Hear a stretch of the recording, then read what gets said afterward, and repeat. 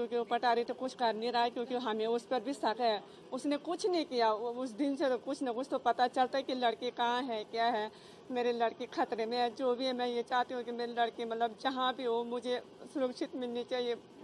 मुझे कुछ नहीं चाहिए, बस मुझे अपनी लड़की चाहिए, है ना?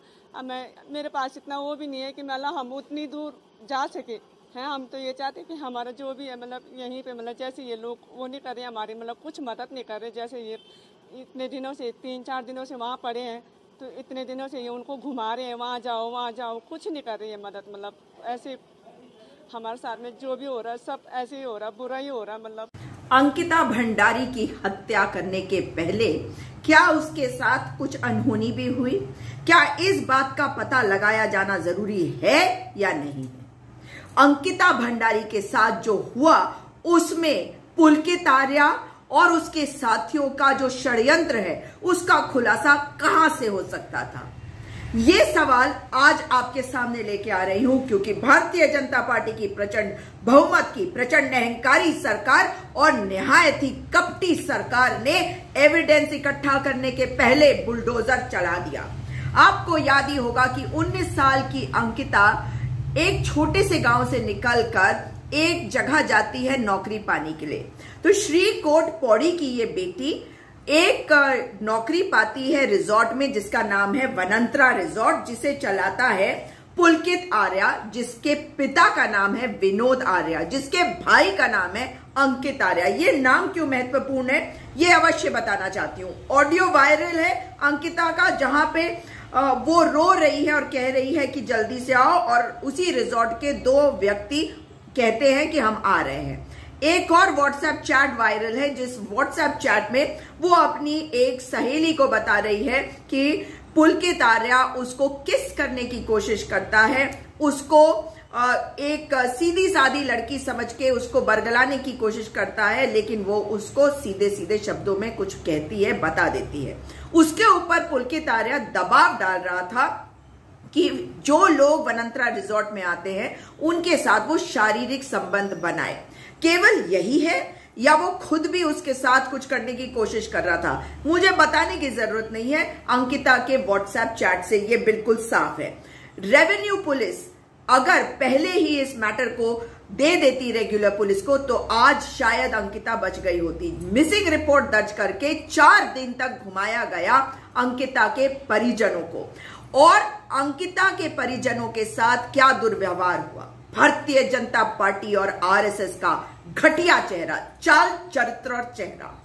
विनोद आर्या पुलिस स्टेशन जाता है, उसके लिए खास चाय मंगवाई जाती है और जो पीड़िता है, जो गायब लड़की होती है उस समय, जिसकी हत्या हो चुकी होती है, जिसे नहर में फेंक दिया गया होता है, वो लड़की और उस लड़की का कोई अता पता नहीं, उसके पिता को पुलिस स्टेशन में पुलिस वाले बाहर खड़ा रखते हैं उसके साथ दुर्व्यवहार होता है। तो पुलिस वालों के ऊपर कार्रवाई कब होगी? मुख्यमंत्री जी अब आ जाते हैं इस विनोद आर्या के ऊपर। विनोद आर्या जब पुलिस स्टेशन पहुँचता है तो वो, वो अपने बेटे को लेकर क्यों नहीं जाता? वहाँ पर पत्रकार पूछते हैं तो कहते नहीं मेरे बेटे ने कुछ नहीं किया। ये जो व्यक्ति है अब इसकी मैं तस्वीर आपको दिखाती हूँ। इसके बेटे ने सोच समझ के सीसीटीवी की फुटेज को हटा दिया गया। जब पुलिस वहाँ पर पहुँची तो कहा सीसीटीवी की फुटेज नहीं है। मगर फोरेंसिक एविडेंस वो तो अभी भी होगा ना? उस फोरेंसिक एविडेंस को इकट्ठा करने के लिए क्या फोरेंसिक टीम गई वहाँ पे जाँच के लिए? नहीं गई।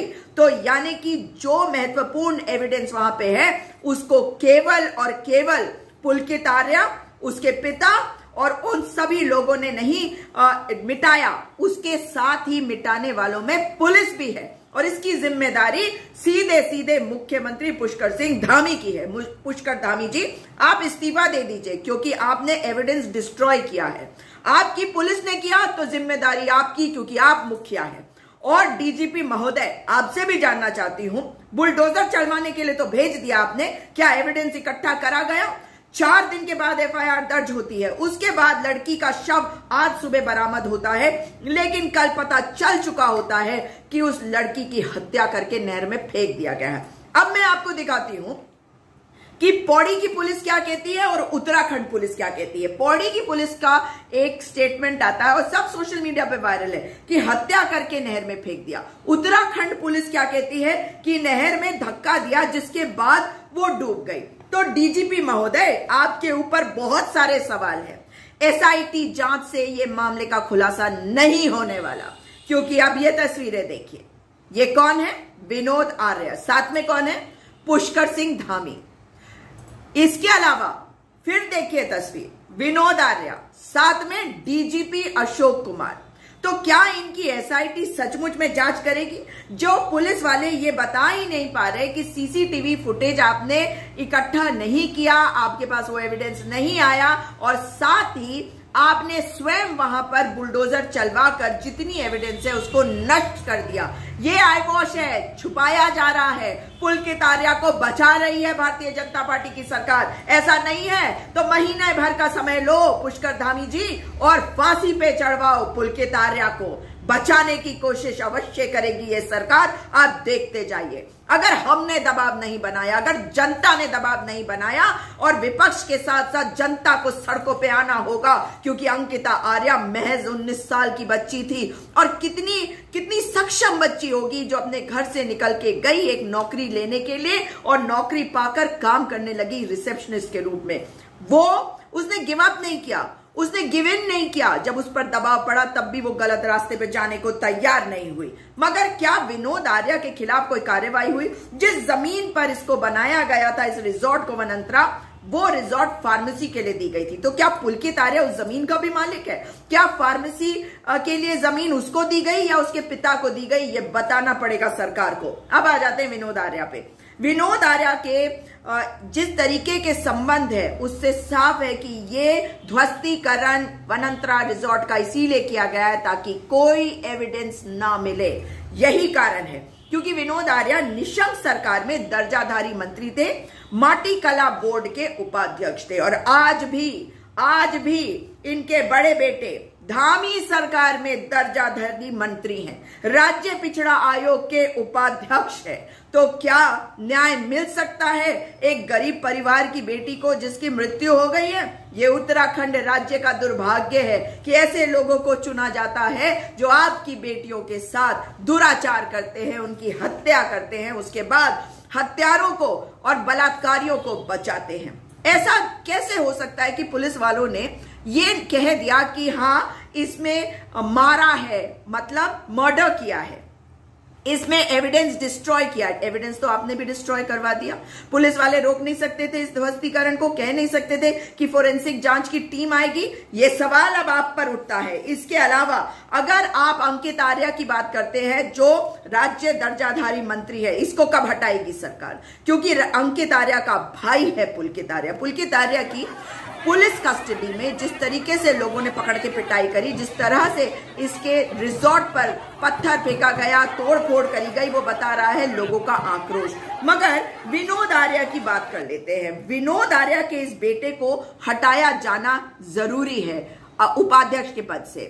और विनोद आर्या आरएसएस का एक प्रमुख व्यक्ति है। और ये तस्वीरें आपको साफ़ बता रही है कि इसके संबंध कैसे हैं पुष्कर सिंह धामी मुख्यमंत्री जी के साथ और अशोक कुमार डीजीपी के साथ। इस संघी की ये तस्वीरें बता रही हैं कि न्याय मिलना कितना मुश्किल है अंकिता को। अगर उत्तराखंड की जनता और देश की जनता सामने आकर अंकिता के लिए न्याय की मांग नहीं करती और दबाव नहीं डालती इस अहंकारी सरकार पर। अभी महेंद्र भट्ट, जो प्रदेश अध्यक्ष है, भारतीय जनता पार्टी के, उन्होंने भी एक स्टेटमेंट दिया कि भाजपा में होता है कि हमने अरेस्ट किया। अरे, शर्म करो महेंद्र भट्ट, शर्म करो, डूब मरो। क्योंकि तुम्हारी ही पार्टी में होता है कि तुम बलात्कारियों को, तुम हत्यारों को, तुम अपराधियों को संरक्षित करते हो। उनका संरक्षण करते हो ताकि वो बेटियों का बलात्कार कहे तुम संरक्षण करते हो ताकि वो अपराध करे।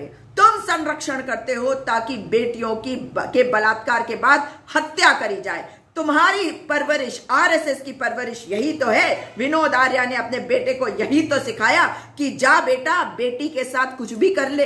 किसी की बेटी हो, मर जाएगी। उसका उसका यौन शोषण कर ले। उसे ग्राहकों को परोस दे। मगर तेरा बाल भी बाका नहीं होगा। यही है आरएसएस का चाल, चरित्र और चेहरा। अब उत्तराखंड में ये बातें तो आपने तमाम बोल दी। निशंक की एक बाइट और भी आई थी। अभी कुछ दिन पहले जहाँ कहा, यहाँ तो सब, सबके रिश्तेदार हैं। तो कोई ना कोई तो किसी का रिश्तेदार है, उसे तो नौकरी कोई ना कोई देगा ही। तो भाई, इस छोटे से राज्य में अब ये जो एसआईटी का गठन किया गया है, क्या इससे मामला सुलझेगा? निशंक इन्हीं का मुख्यमंत्री है। और रहा है। और उन्हीं से पूछ लो कि क्या एक छोटे राज्य में एसआईटी के रिश्तेदारी सब लोगों से नहीं निकल आएगी और खास करके रसूखदारों से। और वो रसूखदार जिसका नाम है विनोद आर्या और अंकित आर्या, जिनका बेटा और भाई है पुलकित आर्या, तीन लोगों की अरेस्टिंग काफ़ी नहीं है। क्योंकि हमने देखा है उत्तराखंड में इन बलात्कारियों को। क्योंकि हमने देखा है भारतीय जनता पार्टी का चाल चरित्र और चेहरा। आरएसएस का चाल चरित्र चेहरा।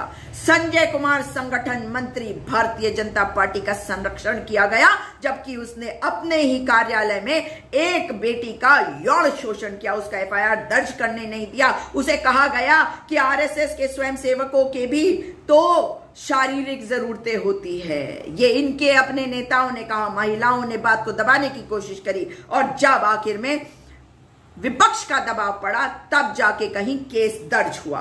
उसके बाद महेश नेगी, जो पूर्व विधायक है द्वारा हट के उसको नहीं दिया गया आपकी बार टिकट सिर्फ़ इसलिए क्योंकि उसे बचाना है।